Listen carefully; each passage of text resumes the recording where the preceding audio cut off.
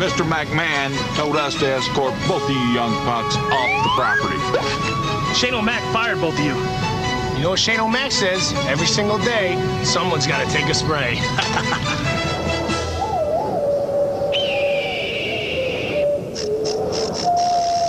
There's nothing like these new superchargers. You can pump them or charge them.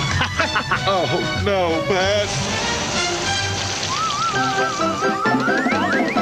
The Super Soaker 4, 5, and 600. Pump it, charge it, soak it.